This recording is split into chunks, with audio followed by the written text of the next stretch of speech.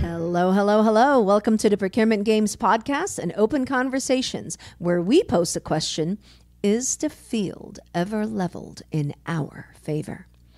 Of course, we are talking about procurement and contracting of minority, women, and veteran owned small businesses deemed to be the underutilized firms in government and private corporation contracting.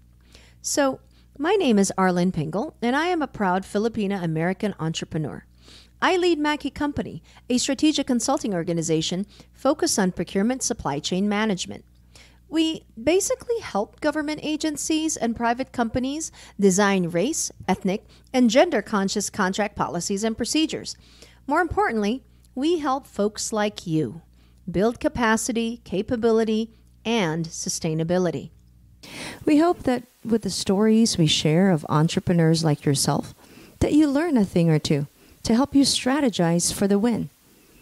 Each week, we feature a minority, veteran, or women owned small business, and once a month, we feature a trailblazer who is paving the way to help move us forward in this ever challenging and changing world of procurement. You know, I am so excited to have this special guest here today, the CEO and executive producer of Soul Touch Productions. I'm really, really thrilled to have Miss Robin Hickman Winfield in our studios today. Miss Robin, Lynn, I am so delighted to have you here. Lynn, it's like we have known each other forever, but it's only been less than a year. You talk about divine connection of dots. Absolutely, absolutely. And you know, one of the things that I talk about here is relationships, networking, connections. You yourself have had an amazing journey in life, in career, and even in your activism. Right. I'm really excited to get to know you and how you came to be Miss Robin Winfield. And I want to talk a little bit about Soul Touch Productions.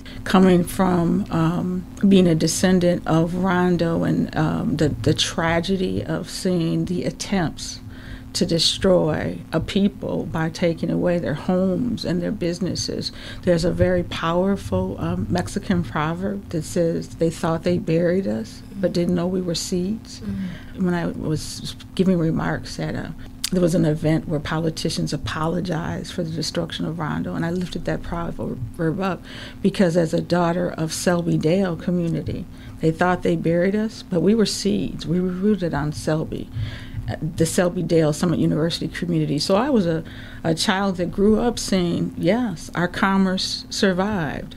Our cultural centers survived. We got to see, walk down Selby and see our commerce and, and see people in our in our community still build community organizations and again businesses. And so we got to see that so we knew we could be that. And so my father with his cultural organization, again, women in the community, men in the community, um, building businesses. So I always knew that yes, the activism side of my, my family they were they were social activists, and I, but also the business side. I also knew I wanted to be a social entrepreneur, a media maker. That was in my blood as well, and so. I kind of pulled it all together and you know had that vision and made it happen. The work I do with young people today, you know, instilling in them, you are visionary you know, and I am a vision of possibilities for you. So I, I had those visions of possibilities growing up. Our connection comes uh, was was made in this this whole movement for the revival of the power of Rondo, and that's how we connected in a Zoom. I think I saw your spirit light, and then, you know, we just kind of came together deeper.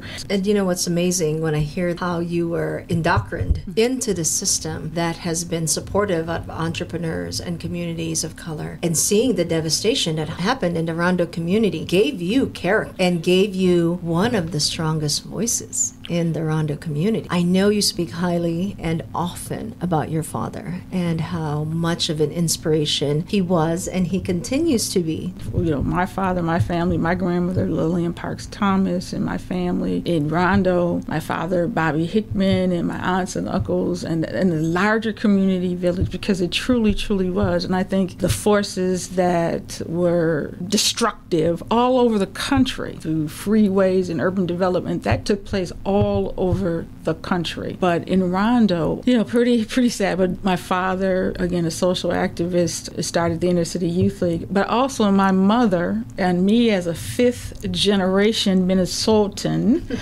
um, my mother was born in Fergus Falls, Minnesota, with her her six brothers, and so there's deep root activism and deep root Minnesotan there. My mother was just as much of an activist, Patricia Frazier, and so with her spirit and her courage combined with my father, it was it was some pretty mighty the stuff force going to be on. reckoned the force with. to be reckoned with. Undying love for Black people, undying love for history. Again, a village, and that is what the Rondo community was about. The Selby Dale community was about the village that raised us, and so that was just the community that we grew up in and nurtured, and, and were very intentional about ensuring that we had visions of being business women and businessmen. That's what's resounding. That's what's amazing, especially with the story of Rondo. What was your inspiration for Soul Touch? What was your inspiration to be Robin Hickman? my inspiration to be Robin Hickman. You are going to you know, it's and, and, for me, it's so it's so. This is still something that's not comfortable for me to be on this side of the microphone because I am a media maker. I was inspired at a young age. I was inspired at a young age being again, my father's helped. See, he done social activism, but also by way we come by it naturally. I am the great niece of Gordon Parks, who was the first black photographer for Life magazine and Vogue magazine, one of the co founders of Essence magazine. He was the first black director in Hollywood with his film adaptation of his autobiography, The Learning Tree. The director of Shaft, did many, many things. Author, composer, you know, Renaissance man. But I fell in love with my uncle as a little girl. And I watched what he did growing up, and I was like, I want to be like Uncle Gordon. So I walked in his footsteps and had a love. So he not only inspired what I grew up to do for a living, but how to do it. And so he was my uncle, but he was my mentor, and I just wanted to do what he did. And so I fell in love with the power of media at a young age and media making at a young age. So my father co founded with others in the community the Inner City Youth League, mm-hmm. which cultural arts center in our community. So as young black people in our community, we experienced the arts and media and history and social activism. Um, many of our mentors in the community and the elders and others and educators. As young people, we had everything we needed to explore, explore theater and visual arts and all of that. Also, um, when I was young, public television was at a time when the Kerner Commission um, did a report. It was during the riots, and, and there were many studies that looked at what is what is going on, what is what's happening right now. And so the Kerner Commission looked at issues like media. How are people of color looked at and covered in the media and looked at that as one of the issues or one of the, the forces that contributed to the riots and looking at well how are they depicted in the media and are they represented? How are they represented? And are they employed in the industry? Are they having opportunities to create their own narratives? And so, through that, that research and that study, um, one of the outcomes was that public television be a vehicle to work with communities to create uh, programming and the influences that you have in media. Obviously, wow, with Mr. Gordon Parks, right? Mm-hmm. That relation and that connection. There's a, a series or a movie that's going to come out. Can you tell me a little bit about that so our listeners also know? Right, and it the second HBO documentary on the life of my uncle Gordon. It's it's titled "A Choice of Weapons," inspired by Gordon Parks. "A Choice of Weapons" was his second autobiography, which chronicles his life in Minnesota. Let's look at the weapons my uncle chose to combat racism and poverty and violence, choosing weapons, the camera and, and music, art. Coming back to entrepreneurship, we have Soul Touch Productions. We have a gorgeous framework of a doll because this is Miss Robin's new venture. And mm-hmm. so tell me a little bit about both of those as an entrepreneur and, and your journey. What's been what's been successful? What's been yucky? What what t- tell us about all that. because I've just become so close to you, did not know anything about how to start a business, tried to take a couple classes and whatnot, but still this day I probably don't have the proper business plan. but you kind of just leap out there and do it. I always knew it wouldn't be just media production, it would be PR, public relations, because I had so many things under my belt to put into Soul Touch. But I said I also wanted to set up Soul Touch so that there would be a kind of like a, a foundation, a philanthropic arm to it as well. So I like to think that the work that we've been able to do over the years with communities set the stage for this historic moment. Taking our place center stage is some of the work under that umbrella of Soul Touch, of working with organizations, and many organizations. So let's, you know, diversity, equity, inclusion, ah Yeah. you know, that work. I like to um, walk in the spirit of James Baldwin, who says, uh, it's time for lovers of humanity to find one another. So I don't so much use DEI anymore. Let's just do the humanity work. Really, that's what it really needs to be about. But I like to lift that up again as an example that my unique business, it's all business. Yeah.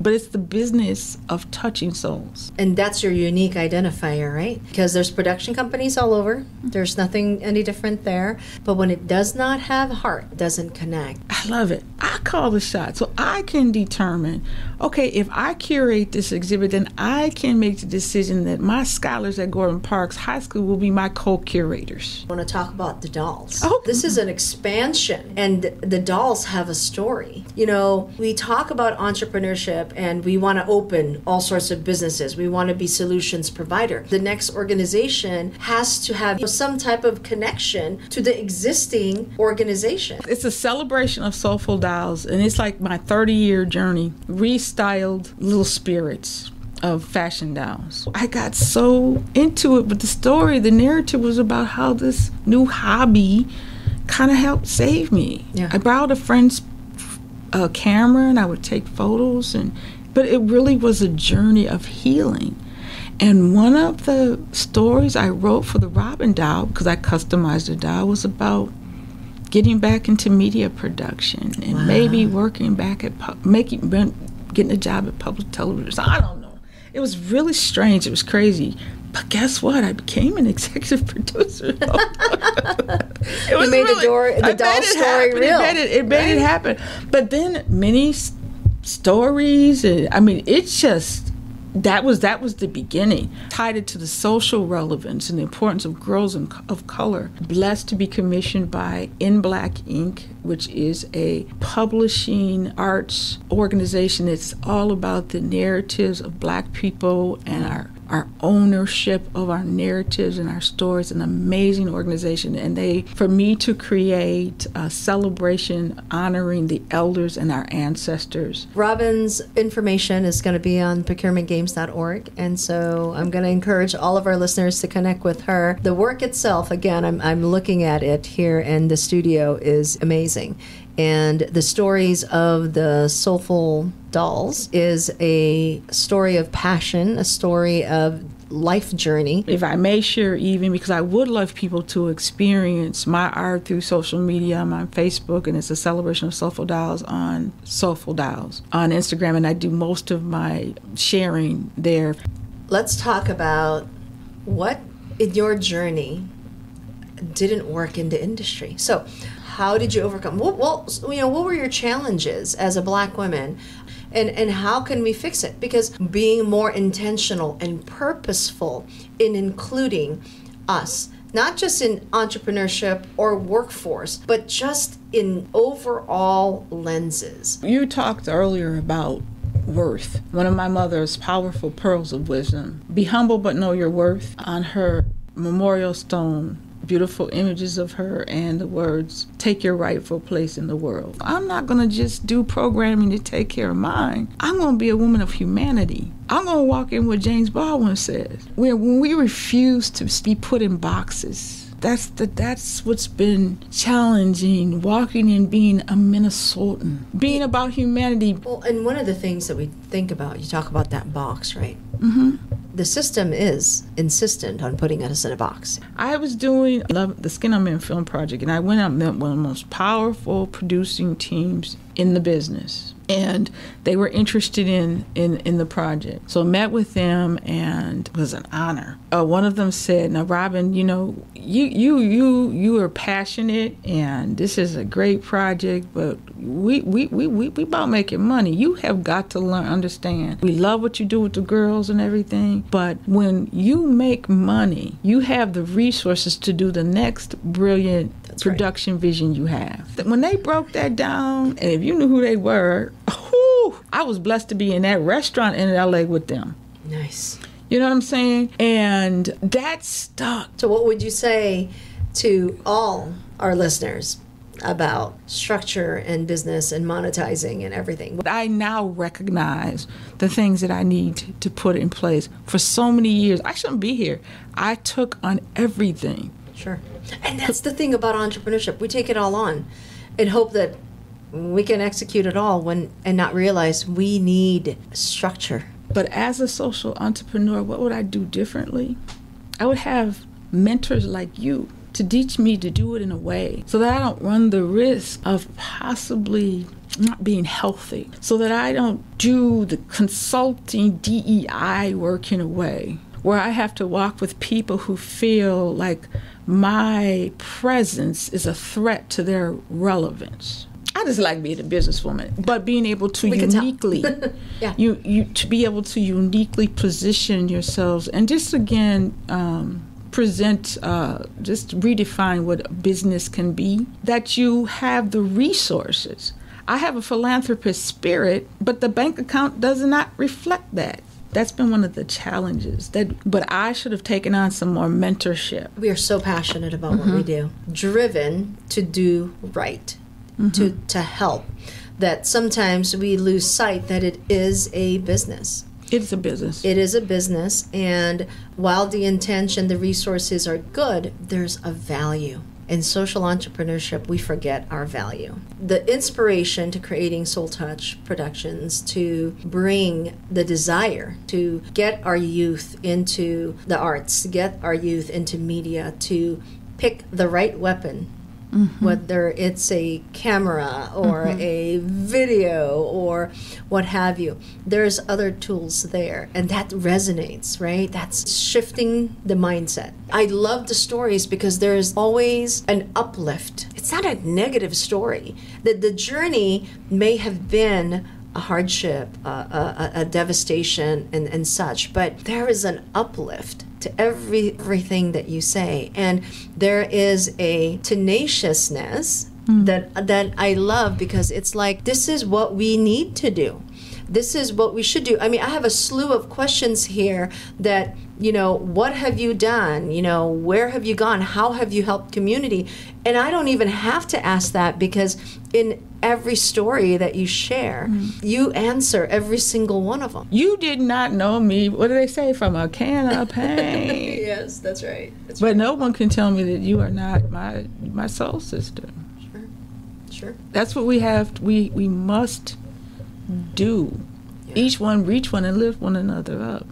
And what I love about our conversation is you always look to self. You always mm-hmm. look to values. You always look to what mom and dad instilled in you and said, you must prevail. And this is how, whatever that looks like, you figure it out in your generation, in your time, in your technology. But mm-hmm. always remember and stay true to you. And that's to me is what resonates every time I hear you hmm. speak about your journey as a social media guru and your dolls. And at the end of the day, your message, Robin, hmm. is we're going to uplift each other. That's right. Have to. And we are going to find a way to succeed together because that's how we're going to lift the village. That's right. You know, this podcast is about procurement. It is about equality. It is about how do we get ours, right? In our conversation today, if we follow those principles, we're going to get ours. We're gonna get it.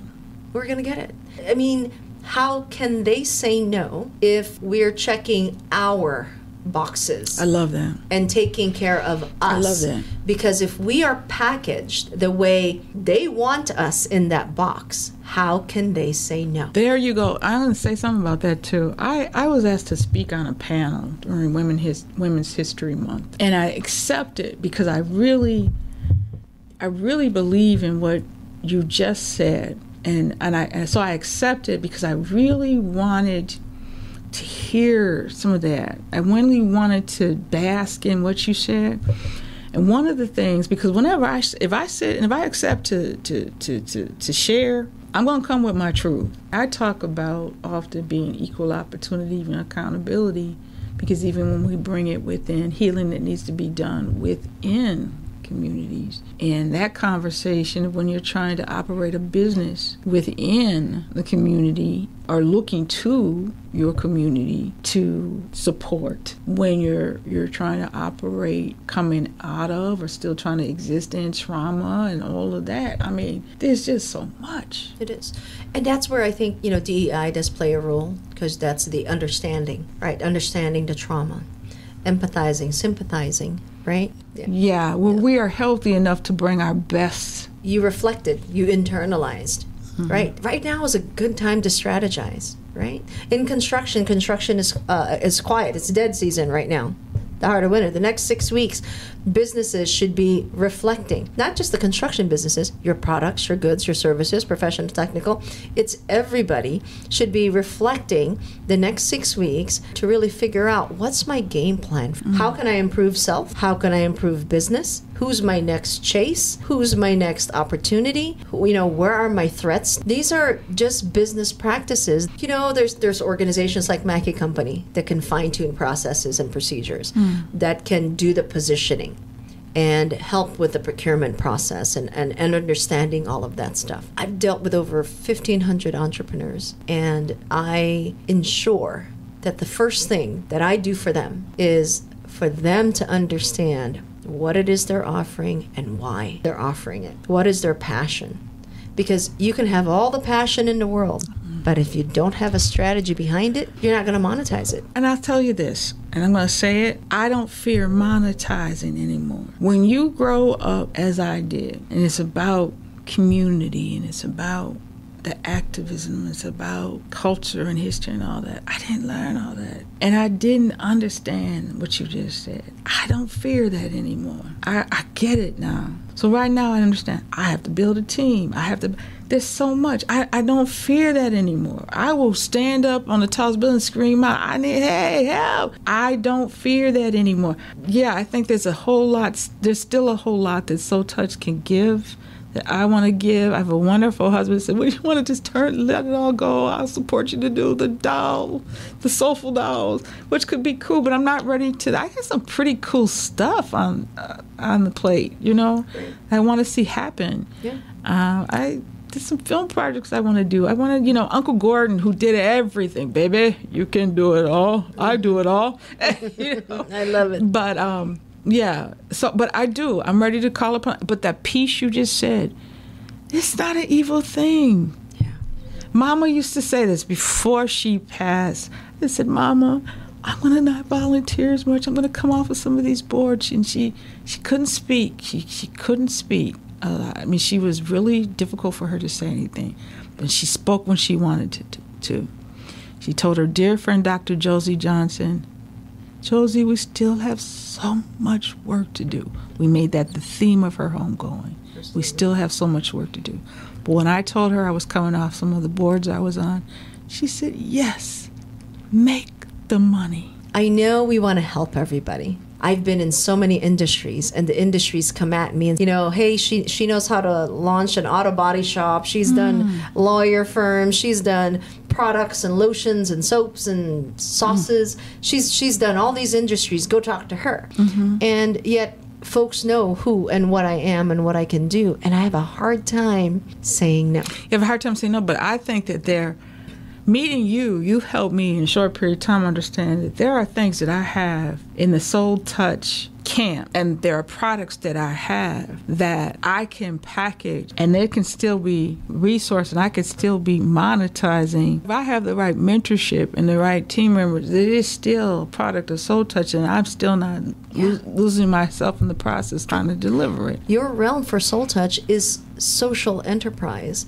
and you're using your your education, your network, your relationships to elevate the product line. Mm-hmm. So don't don't to our listen don't confuse opening up different types of businesses. Worry about how your existing services complement each other. Right. Because if they don't complement each other, it's going to take all your energy. You know, I think it's it's dawning on you. Mm-hmm. I need to have this team. The team. I need it. to have the team to execute A so I can focus on B, I can execute C and they can execute D. And that all falls under soul touch. That's exactly. Right? You your, nailed it. Your your dolls have a story. Well, guess what? You are in media, you're used to creating stories. That's why it's a natural production and a compliment, right? Mm-hmm. The dolls themselves is your logo, your signature, your brand, but the story behind it is what links it to the Soul Touch mm-hmm. family of, of business. So that's what I think about you know, when I think about entrepreneurs, because an entrepreneur is serial. An entrepreneur is one who wants to solve everything. And because they're in solution mode, they're going to open up different companies. Oh, what if I do this? Oh, what if I do this? I'll start a roofing company. I'll start a plumbing company. And neither the two shall meet because mm-hmm. they're two mm-hmm. different line items mm-hmm. uh, and such. And I, and again, I'm very, very broad and, and, and non-specific, but it, it makes sense. And the advice that you give in terms of the processes that you're going through mm-hmm. is something that our listeners, our, our audience, our small businesses should consider. And with that, I simply want to thank Robin Hickman Winfield for being on our show today. Our conversation was definitely inspirational and really points to the importance of inner reflection, the values you hold dear, and how to take a stance on taking the opportunities presented and going at it with gusto. Next week, we host entrepreneur Foster Hackett of Advanced Design Contracting. This episode sheds a different light to construction and how firms can win. I also want to remind everyone that we do go live on our YouTube channel for open conversations and share your thoughts about our past episodes, procurement, hey, and even workforce.